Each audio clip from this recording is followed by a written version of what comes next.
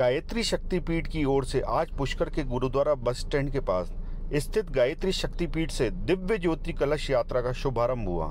पुष्कर राज की परिक्रमा करके राजस्थान के सातों संभागों के लिए यह दिव्य ज्योति कलश रवाना हुए हैं।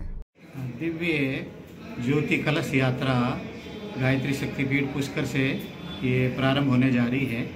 राजस्थान भर के सात संभागों में सात दिव्य ज्योति कलश आज अभी बारह, सवा बारह बजे पूजन के साथ पुष्कर में, पुष्कर राज की परिक्रमा करते हुए प्रस्थान करेंगे।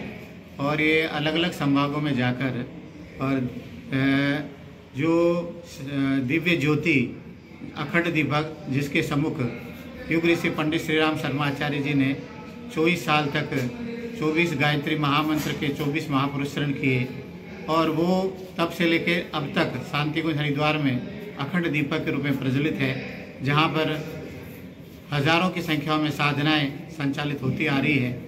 उसी के शताब्दी वर्ष, इस वर्ष 2026 में मनाई जा रही है। संयोग है कि आचार्य श्री की सहयोगिनी, धर्मपत्नी, वंदनीय माता भगवती देवी शर्मा, उनकी भी जन्म शताब्दी वर्ष है।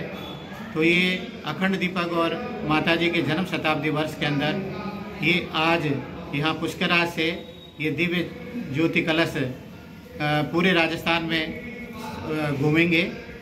राजस्थान में नहीं, पूरे भारतवर्ष में भी अलग अलग क्षेत्रों में ये काम होने जा रहा है। करीब सवा साल तक, ये 22 जनवरी 2026 तक ये रथ हर गाँव और हर डाणी में जाएँगे। और वहाँ पर उनका आचार्य श्री का जो संकल्पित है कि मनुष्य में देवत्व का उदय हो और धरती पर स्वर्ग का अवतरण हो, इसके लिए विभिन्न कार्यक्रम होंगे।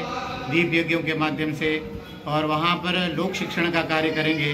कि नारी जागरण हो स्वावलंबन हो शिक्षा हो वृक्षारोपण हो स्वावलंबन की प्रक्रिया हो तो विभिन्न प्रकार का ये धर्म तंत्र से लोक शिक्षण- लोक शिक्षण का कार्य ये किया जाएगा इन दिव्य दिव्य ज्योति कलश यात्रा के लिए। कार्यक्रम में कौन कौन आए थे इसमें साथ में से, जो सेवादारी हैं, वो सैकड़ों की संख्या में साथ चलेंगे, जो व्यवस्थाएँ बनाएँगे और आगे से आगे ये कार्यक्रम होगा। आज इस कार्यक्रम को शुभारंभ के लिए हमारे शांति कुंज हरिद्वार के जो व्यवस्थापक है, श्रीमान योगेंद्र गिरी जी, वो हैं।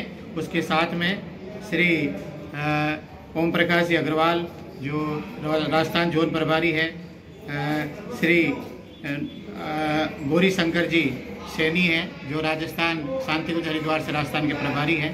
बाकी पुष्कर के हमारे संत हैं पाठक जी महाराज है श्री नंद शरण जी महाराज है।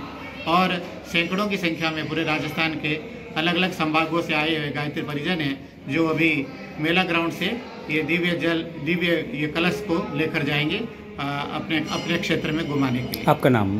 डॉक्टर सुरेश वैष्णव गायत्री शक्तिपीठ पुष्कर।